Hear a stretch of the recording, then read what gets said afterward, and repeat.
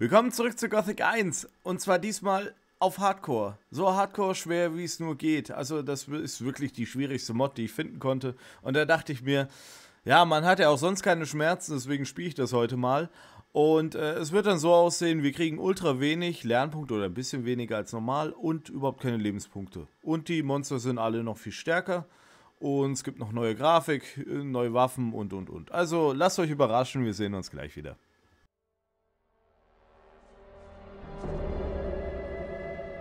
Willkommen im Lager. Das reicht. Lasst ihn in Ruhe. Macht, dass ihr wegkommt. Steh auf. Ich bin Diego. Ich bin... Mich interessiert nicht, wer du bist. Du bist neu hier. Ich kümmere mich um die Neuen. Lassen wir es vorerst dabei. Wenn du vorhast, länger zu leben, solltest du dich ein bisschen mit mir unterhalten. Ich werde dich allerdings nicht daran hindern, in dein Verderben zu rennen. Also, wie sieht's aus? So, wir haben jetzt die Möglichkeit, einfach Ende zu drücken. Dann ist aber ein bisschen gereizt, der Gute. Deswegen gehen wir alle Gesprächsoptionen erstmal durch. Und dann kommt, glaube ich, schon die Schwierigkeitsgradwahl. Und dann seht ihr mal, was auf uns wirklich zukommt. Okay. Was muss ich über diesen Ort wissen? Wir nennen es die Kolonie. Du wirst sicher schon gehört haben, dass wir hier Erz für den König fördern. Nun, zumindest wir vom alten Lager. Es gibt drei Lager innerhalb der Barriere. Das alte Lager ist das größte von ihnen. Es war auch das erste. Mhm. Wie komme ich zum alten Lager? Du musst nur dem Weg hier folgen. Das alte Lager ist der nächste halbwegs sichere Ort von hier aus gesehen. Es treiben sich jede Menge wilder Bestien zwischen den Lagern herum. Es ist Wahnsinn, ohne Waffe zu gehen. Wo kriege ich eine Waffe her? Wenn du an der verlassenen Mine vorbeikommst, sieh dich mal ein bisschen um.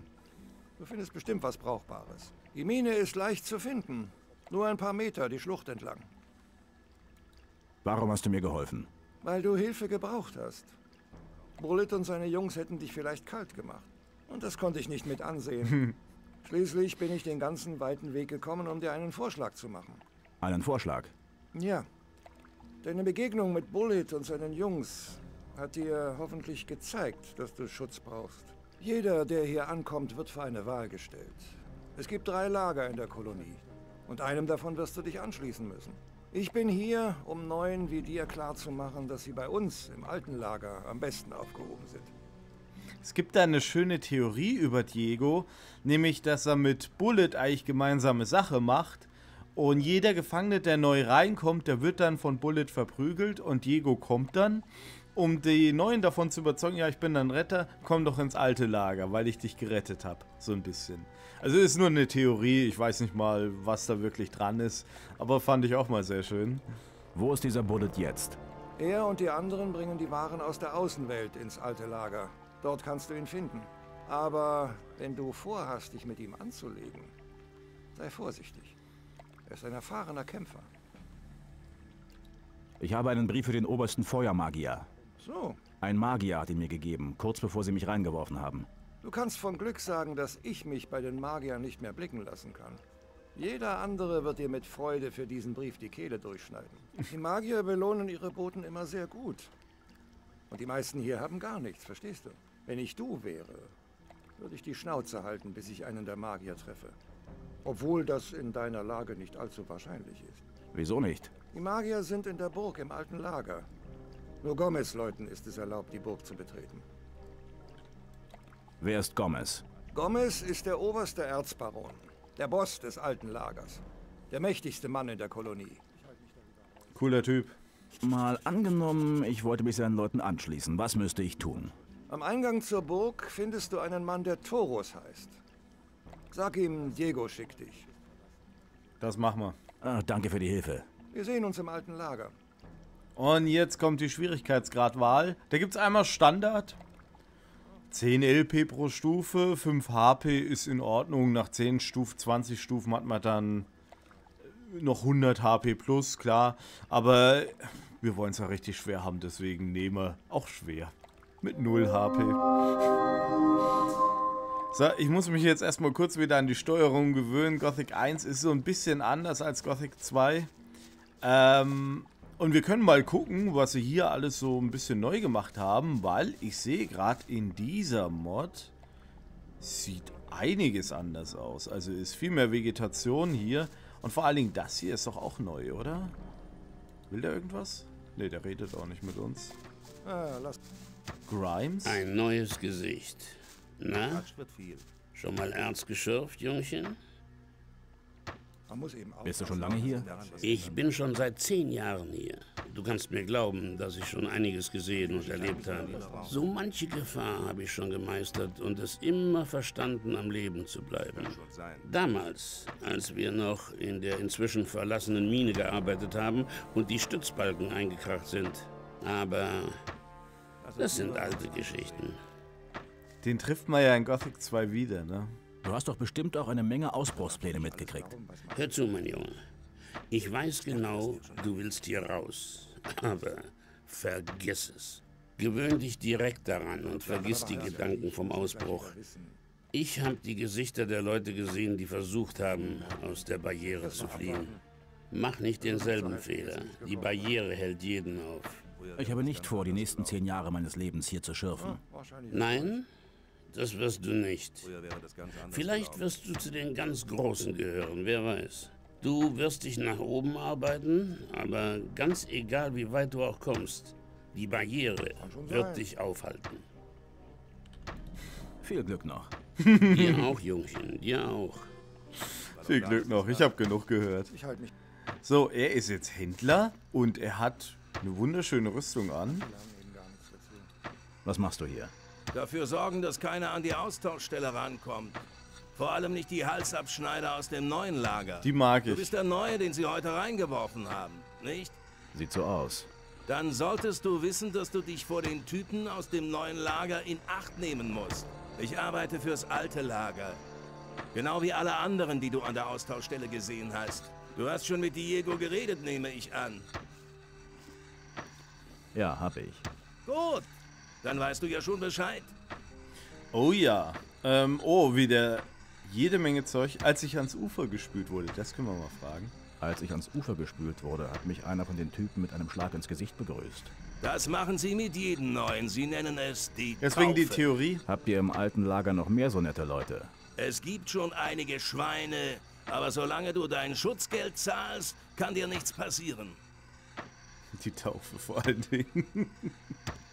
Im Übrigen, wo ich es gerade immer mit neuen Lager sehe, ähm, ich habe noch nie neues Lager gespielt und da wäre ich mal wirklich zu 100% dahinter, das diesen Durchgang zu machen. Ich hatte auch schon mal eine Abstimmung, welches Lager am besten eurer Meinung nach ist. Und die meisten waren fürs neue Lager, tatsächlich. Ich habe gesehen, wie sie eine Frau zusammen mit den Waren reingeschickt haben. Ja, die Erzbarone bekommen alles, was sie wollen. Du meinst, der König tauscht Erz gegen Frauen? Sie sind natürlich auch verurteilte Gefangene. Aber wenn Gomez sie nicht angefordert hätte, säßen sie in irgendwelchen Kerkern. Bin mir nicht sicher, was schlimmer ist. Warum sollte ich mich vor dem neuen Lager in Acht nehmen? Verglichen mit dem neuen Lager ist das alte Lager ein ruhiger und friedlicher Ort.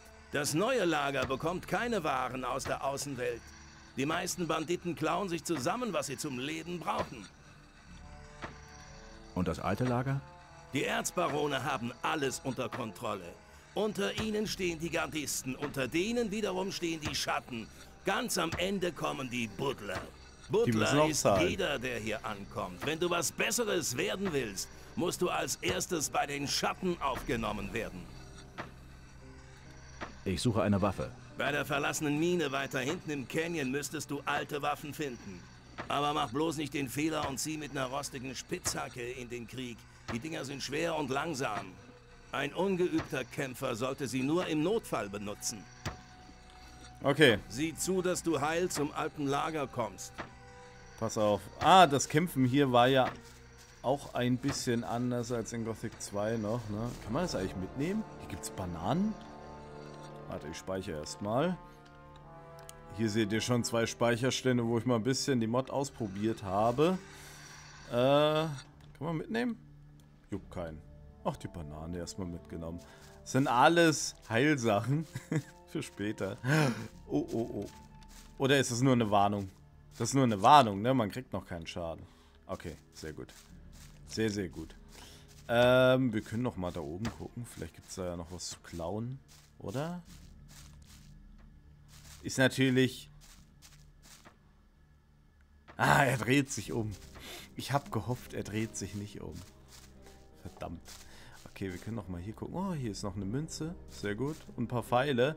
Ich hatte mir nämlich überlegt, wir könnten doch diesen Durchgang auch mal Bogenschützen spielen, oder? In Gothic 1 hatte ich das nämlich noch nie. Oh, eine Pfanne. Die könnte man vielleicht für Fleischzubereitung brauchen, soweit das in der Mod hier geht. Im Übrigen, wen das jetzt interessiert, was für eine Mod ich hier spiele und so, das ist die Othello in Hardcore und äh, die verändert halt viel in der Spielwelt. Ich klemme nochmal alles in die Videobeschreibung, damit ihr dann nachvollziehen könnt, okay, was genau muss ich denn da installieren, runterladen und und und. Ich mache das alles über Spine. Tutorial ist auch gleich mit dran gehangen, habe ich auch schon mal gemacht für YouTube. Ähm, da geht das super einfach zu installieren, wirklich. Also das hat keine fünf Minuten gedauert und ich konnte schon spielen. Kann ich jedem empfehlen. Ähm, ja, gut. Neues Lager und Bogenschütze. Ich bin mir aber noch nicht sicher, bei den LP, die wir pro Stufe bekommen, ob das nicht schlau wäre, erst noch auf Schwertkampf zu gehen. Wisst ihr? Oder ein bisschen auf Stärke zu leveln. Denn, ja, Dämonenpilzbündel. Okay. Ähm, ich weiß nicht, wenn man immer so ein bisschen Stärke noch hat, dann kann man erstmal im Nahkampf draufkloppen. Und gerade am Anfang trifft man ja noch nicht so gut. Ne? Das ist ja immer das Problem bei, bei Fernkampf, dass die Gegner mal ordentlich rankommen müssen. Und ich kann noch mal die Stats zeigen. Äh, wir beginnen mit 10 Stärke und Geschick, alles ist auf 10%.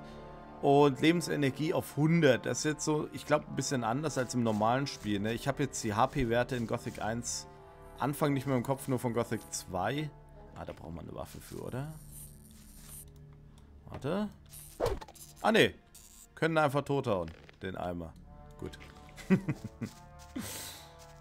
ja, da waren es 40, ne? Ich weiß nicht, ob die das erhöht haben hier, aber die Gegner teilen hier auch ein bisschen mehr aus. Ich habe es mir das mal angeguckt. Ich wollte nämlich erstmal wissen, wie schwer sind denn eigentlich die Gegner am Anfang direkt, ne? Nicht, dass ich mich hier wieder um Kopf und Kragen rede. Tönt er hier wieder. Fängt er mit Hardcore an und dann wird er von allem gewonshottet. so, ähm, hier. Nehmen wir mal alles mit hier. Hier ist auch ultra viel verändert worden, oder? Es sieht alles so ein bisschen anders aus. Auch die Höhle hier, die gab es ja davor noch nicht. Cool. Wirklich cool. Hier müsste auch irgendwo ein Schwert oder sowas rumliegen. Eine Sichel haben wir hier. Okay. Pass auf, dann machen wir das folgendermaßen. Ähm. Können wir mal kurz hier reingucken. Hier war nichts mehr, ne? Hier vorne. Nee. Hier gab es auch nur eine Sichel. War nicht normal immer ein rostiges Schwert hier? Ich bin mir nicht sicher. Was macht die an Schaden? Einhandschaden 3. Schlagradius 30, kritischer Treffer minus 10. Haben wir da jetzt... Ja, wir haben tatsächlich 0% jetzt. okay, das ist wirklich traurig. Das ist wirklich, wirklich traurig. Äh, ich würde gerade nochmal speichern.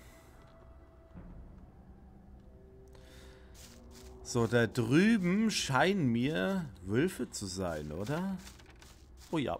Ja, ja, ja. Also Wölfe schaffen wir höchstwahrscheinlich noch nicht. Da machen wir erstmal einen Bogen drum. Ich hätte gesagt dass wir erstmal gucken, was hier oben noch ist. Ich bin immer großer Freund davon, am Anfang schon alles mitzunehmen. Im Übrigen, im Einhandkampf, wer jetzt die Version hier nachspielen sollte, da gab es so einen Trick, wie man schnell angreifen kann. Ich glaube, man klickt immer erst und drückt W, ne? Ja, genau. Also wenn man das in der richtigen Reihenfolge macht, kann man richtig schnell irgendwann angreifen und hat nicht diese Animation dazwischen. Und das kann ganz hilfreich sein, um gerade gegen starke Gegner nochmal anzukommen.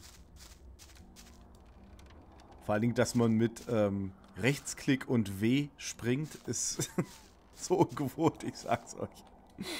Hm. Ich habe auch mal ein Video gesehen, wie die Entwickler das gespielt haben. Ich glaube, das waren... Der, der Mike Hoge war da dabei? Ich bin mir nicht mehr sicher. Ah, da ist ein Goblin. Okay, wir speichern nochmal. Und die sind hier nicht hochgekommen. Die sind hier einfach nicht hochgekommen.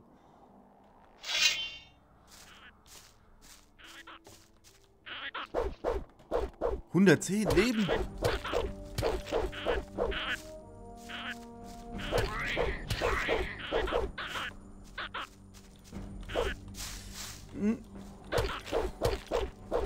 Ja, ihr seht schon, die halten ultra viel aus. Aber wenn man das halbwegs geschickt macht, dann kriegt man die auch letztendlich mal tot. Eine Nagelkeule, sehr gut. Ähm, weil ich finde, die Sichel ist wirklich ein bisschen lost, was es angeht, bezüglich Schlagreichweite. Weil 30 ist schon wenig, der hat 40. Okay. Eine Spitzhacke hat sogar 55, ist aber Zweihandwaffe. Und mit der können wir das nicht so easy machen wie mit dem Einhänder. Deswegen lieber die Keule, die macht auch 6 Einhandschaden. Sehr gut. Sehr, sehr gut. Ähm, ich habe auch gerade gesehen, wir haben noch einen Feuerpfeilzauber. Den könnten wir eventuell auch noch nutzen. Muss gleich mal gucken, auf was wir hier noch stoßen. Da unten sind auch noch Wölfe. Oh, oh. Also, Wölfe würde ich echt erstmal meiden wollen. Da bin ich ehrlich. Ist das da vorne ein Gardist? Warte, wir heilen uns erstmal hoch. Ich glaube, das wäre das Schlauste. Das können wir auch mal ausrüsten. Und... Oh, prozentuale Lebenswiederherstellung. Das ist ja sehr schlau. Das ist ja wirklich sehr schlau. Können wir ja gleich so umrechnen. 7% sind gleich 7 Leben hier. Sind ja bei 100. Waldbeere. Hm. Okay. Dann nochmal ein Speicherinski. Und dann schauen wir mal, was der Dude da vorne so will. Was zum Teufel machst du hier? Oh, das trifft uns. Oh mein Gott. Ja. Das wäre Death Counter Nummer 1. Wollen wir eigentlich mit Death Counter spielen? Schreibt es mir gerne mal in die Kommentare. Das wäre doch sehr lustig. Das wäre schon mal Nummer 1. Ich mache mir schon mal einen Strich, weil ich glaube, wenn man die Hardcore spielen und ihr oben dann in der Ecke so einen kleinen Death Counter eingeblendet habt, das macht es nochmal doppelt lustig und doppelt so schmerzhaft. Und vielleicht können wir uns ja was ausdenken, wenn wir dann bei 30 oder 50 irgendwann sind. Muss ich auch was Kleines machen hier während einer Folge. So, ich würde das einfach so handhaben. Warte. Oh, Brandschaden. Warte, wir lassen ihn laufen. Das war ja easy. Aber der Brandschaden macht das ja übelst attraktiv, Magier zu spielen, oder? Findet ihr nicht? Also das hat es mir wirklich gerade angetan. Rostiges Schwert, 55 Schlagradius und 14 Einhandschaden. Das nehmen wir doch direkt. Ey, das ist so viel besser als dieses Sichelding, was wir da eben hatten. Das war ja wirklich verloren. Berik. Er hat sogar eine Karte dabei, weswegen er höchstwahrscheinlich umgebracht wurde. Würde ich einfach mal so schätzen. Beriks Karte. Ah ja, bei Fässern. Warte mal. War das nicht am Austauschplatz? Oder ist das in der Burg? Eins von beiden wird sein. Ich glaube aber, er ist in der Burg. Also, es ist in der Burg so. Wir wollen ja noch richtiges Deutsch sprechen hier. Ich speichere nochmal hier. Gibt es ja echt Quicksave? Ich bin mir gerade nicht sicher, ob es in Gothic 1 noch Quicksave gab. Ja. Ach, dann kann ich mir das ersparen, immer ins Menü zu gehen. Gut. Da hinten ist ein Snapper würde ich jetzt einfach mal die Finger von lassen.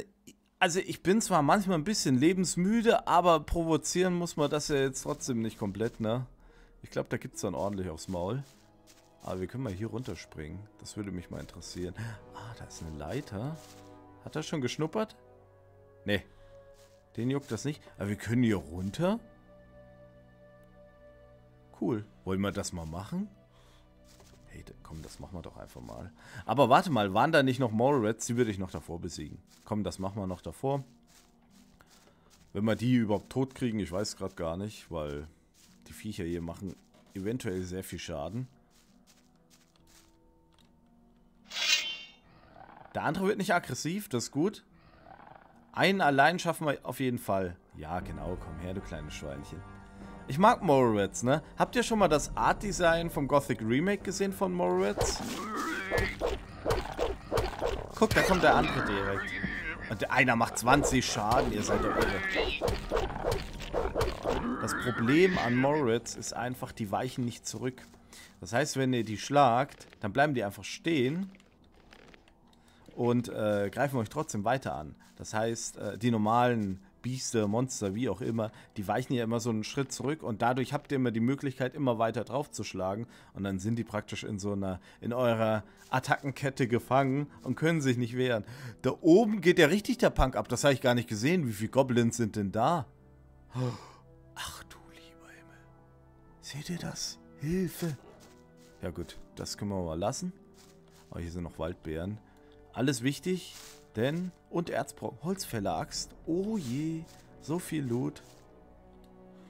Ich finde es auch cool, dass man hier einfach Bündel an Pilzen hat. Eine Drachenwurzel. Cool. Okay, das sind Wölfe. Die schaffen wir definitiv noch nicht. Und die Goblins auch nicht. Ihr habt ja schon gesehen, so ein kleiner grüner Goblin hat 110 Leben gehabt. Da haben wir ewig lang drauf gekloppt. Die Morrats sind jetzt schneller umgefallen und Ihmchen hier ist auch umgeklappt wegen Feuerpfeil, aber die haben wir ja jetzt leider auch nicht mehr. Deswegen würde ich einfach sagen, wir klettern hier mal runter. Leitern in Gothic waren ja eh immer so eine Sache. Ich hoffe mal, die haben hier so einiges jetzt gefixt. Liegt da was? Da liegt doch eine Fackel und drei Pfeile, ne? Oder? Wir, ich segel gleich nicht hier komplett runter. Im Übrigen, ich habe Quickloot und äh, Autosprint und alles mal rausgelassen. Weil ich dachte mir, komm, so viele haben mir in die Kommentare immer geschrieben, das macht so ein bisschen die Immersion von Gothic kaputt, dass da Quickloot dabei ist, man kriegt das nicht mehr so richtig mit und alles. Und Autosprint macht das auch so ein bisschen kaputt. Deswegen alles raus, wir spielen das so ich will nicht sagen Classic wie möglich, weil wir haben ja die Othello noch drauf, aber so hardcore wie möglich. so, da können wir doch mal rein, oder? Und Cadence Amulett, es sieht aus wie ein Amulett oder ein Schlüssel. Mhm. Bin ja mal gespannt, wo das wieder reingesteckt werden muss. ähm, ja, und ich freue mich schon wirklich sehr aufs neue Lager. Ne? Ich glaube, das Erste, was wir dann machen, ist erstmal Strike verprügeln, damit wir unseren Besitzanspruch durchbringen können, nämlich die Hütte. Das wird ganz wichtig. Ob wir den aber kaputt kriegen, ist dann wieder die andere Frage. Weil gerade wenn wir auf Bogenhains gehen, dürfte es problematisch werden, hier Leute zu verprügeln. Die fallen ja dann einfach tot um, ne? wenn sie so ein paar Pfeile in der Brust stecken haben. Haben so Pfeile so an sich? beim Schwert, da machen sie lieber nochmal äh, auf dem Bauch so ein bisschen Breakdance. Aber so, was war denn das da oben? Achso, okay. Da wird nur die Leiter angezeigt. Hat mich gerade ein bisschen verwirrt. Okay. Aber ist schon cool gemacht, oder? Vor allen Dingen, wie viel Zeug man einfach finden kann, wenn man sich drauf einlässt. Sowas liebe ich wirklich. Das liebe ich an Rollenspielen. Wir gehen aber trotzdem nochmal hoch, weil da sind noch ein paar Scavenger. Das kann man nicht mitnehmen. Ach, schade. Ähm, die würde ich gern noch wegen der Erfahrung halber einfach mal killen. Schnetzeln, wie auch immer. Und da können wir das Schwert noch mal ein bisschen ausprobieren. Ich würde mich aber davor noch mal heilen wollen. Paar Waldbeeren. Dafür sind die immer gut. Ich liebe die. Ich liebe die. So, ist das ein Tippi hier vor uns? Ja, ne? Na komm. Ein kleines Mäuschen. Die Hauptaufgabe wird es dann in den Folgen dann noch sein. Ihr kennt ja Drax, den Jäger, ne? Oh, auch 100 Leben. Aber die, die fressen auch gut. Also ich finde, man macht gut Schaden, aber die Gegner auch. Ist eigentlich ein guter Trade-off für Hardcore, oder? Ist ein guter Trade-off. Ich finde, da hat man trotzdem noch die Chance, so ein bisschen, wenn man schnell ist, alles zu killen aber kann auch selber schnell in die Bredouille kommen und muss manchmal schon hart überlegen, okay, was mache ich jetzt? Das haben ja andere Spiele dann später auch noch hinzugefügt, wie zum Beispiel, äh, leider durch Mods, ja, aber ähm, Skyrim zum Beispiel, da gibt es auch einen Hardcore-Modus und wenn ihr da am Anfang, da kommt ihr ja durch so eine Höhle und gegen die Kaiserlichen, gegen die kämpft ihr ja dann, ne? Und die haben immer einen Bogen dabei und die können euch auch mit einem Schlag niederstrecken und das fand ich irgendwie immer sehr lustig, weil dann du spielst das Spiel komplett anders. Du musst wirklich überlegen, was du als nächstes tust, wo du lang gehst, welchen Zauber du für wen verwendest. Alle Ressourcen waren auch so ein bisschen knapper.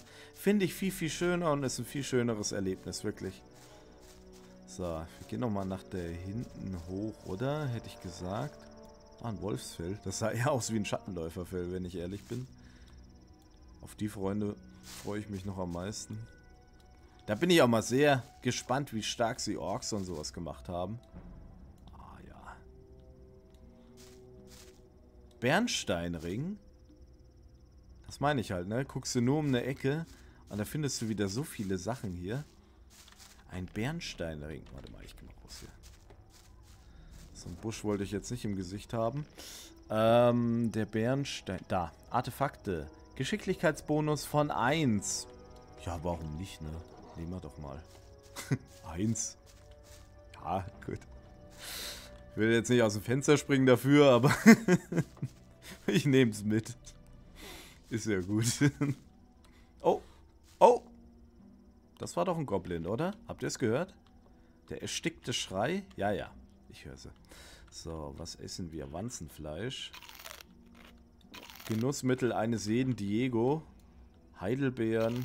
Ich glaube, aus den meisten Sachen hier kann man tatsächlich auch ein bisschen was brauen. Gebraten schmeckt es besser. Kann ich mir sogar vorstellen. Wurzelsuppe. Supi. Deswegen, wir sollten auf jeden Fall Fleisch sammeln. Und wir machen nochmal was. Das mache ich eigentlich immer, wenn ich nicht weiß, wo die Gegner stehen. Okay, die sind hier irgendwo dahinter. Warte, ich speichere einfach mit F5. So. Wo ist er? Wo ist er, der Scheiße? Ah, okay, da ist eine Tür. Da kommt schon... Oh! Oh, oh da ist er. habt ihr gesehen? Er hat sie einfach versteckt. Ein Waldgoblin. Welch garstiges Getier greift mich denn da an? Ja, erstmal das Genick gebrochen. Danke. Oh, der kommt gleich hinterher, ne? Der will. Aber die KI scheint da doch größere Hindernis zu sein. Der teilt aber auch aus, ne? Sehr gut. Ich finde es schön, dass sie Erzbrocken dabei haben. Sehr, sehr schön. Ich weiß nicht, ob wir das, was hinter der Höhle liegt, wirklich besiegen können. Ich bezweifle es mal stark. Ist, glaube ich, eher was für später. Oder da ist einfach nichts an Monstern dahinter, sondern nur ein Schatz versteckt. Ey, ich liebe die Mod jetzt schon, oder? Also, ich finde das auch immer sehr schön, um das gerade mal kurz zu erklären, wenn man mal noch was anderes dabei hat. Gerade am Anfang so ein paar neue Sachen, die man noch entdecken kann. Weil so als alter Gothic-Hase, ich meine, man hat dann alles irgendwie schon mal gesehen, wenn man das dann so zwei, dreimal durchgespielt hat, sage ich mal. Bei mir waren es nur zweimal bisher. Ähm, und das auf YouTube. Ähm, und einmal war es mit der Definitive, ne? Von den zwei Malen. Die Definitive kann ich auch sehr empfehlen, nur nicht als Magier, der, der kriegt der Haarausfall. Gerade später, wenn die Mana-Tränke äh, knapp werden, kann es sehr eklig werden. Also das war meine persönliche Erfahrung. Äh, wen das wirklich nochmal interessiert, kann in den letzten Folgen beim Schläfertempel bei mir nochmal reingucken. Es war wirklich ein bisschen schwieriger als erwartet. Ist da unten Bloodwind, den wollte ich jetzt eigentlich noch nicht treffen. Aber uns bleibt ja nichts erspart hier. Gut, dass ich dich treffe, mein Freund. Hallo. Du läufst hier rum, als würdest du etwas suchen. Tatsächlich? Hm, stimmt vielleicht. Wieso? Wunderbar, frag mich. Ich kann dir vielleicht weiterhelfen. Woran hast du dabei gedacht? Was brauchst du denn? Ich will hier rein. Hast du vor, durch dieses Tor zu gehen? Ich verstehe. Was willst du haben? Genauso sehe ich das auch. Und? Mit nur zehn Erz bist du dabei. Wie sieht's aus? In Ordnung. Hier sind zehn Erz für dich. Na siehst du. Du kannst ja doch die richtige Entscheidung treffen.